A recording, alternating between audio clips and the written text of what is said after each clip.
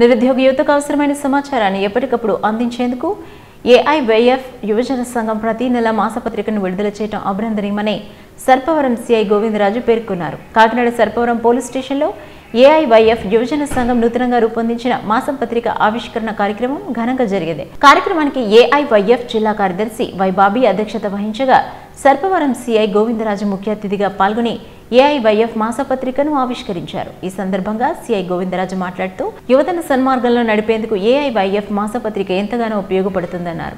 కార్యక్రమంలో సిపిఐ జిల్లా నాయకులు కుంచే అంజిబాబు సిహెచ్ సతీష్ గోనెల నాగభూషణం పి ప్రసాద్ నాగరాజు తదితరులు పాల్గొన్నారు. ఈరోజు ఏఎస్ఎఫ్ యోజన మాస్ పత్రిక ప్రారంభించడం జరిగింది. ఇది గత ముప్పై సంవత్సరాల క్రితం ఉండేదంట. తర్వాత ఇది మళ్ళా రీస్టార్ట్ చేసి ఈ రోజున ఓపెన్ చేయడం జరుగుతుంది. ఇది భగత్ సింగ్ గారు యొక్క ఆశయాలకు అనుగుణంగా గుర్తుగా ఆయన యొక్క ఫోటోతో ఫస్ట్ పత్రిక రిలీజ్ చేయడం జరుగుతుంది.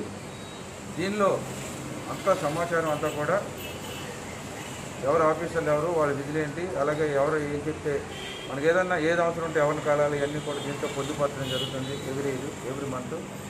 ఈ పత్రిక దినదిన అభివృద్ధి చెందాలని మనస్ఫూర్తిగా కోరుకుంటూ నా మిత్రులందరూ కూడా హ్యాపీగా ఉండాలని అలాగే పత్రికని సంతోషంగా నడపాలని సందర్భంగా కోరుకుంటున్నాను. అఖిల భారతీయ విభజన సమీక్ష ఏఏవైఎఫ్ ప్రతి నెల కూడా ఒక మ్యాగజైన్ విడుదల చేసే విధంగా మాస్ పత్రిక విడుదల చేసింది.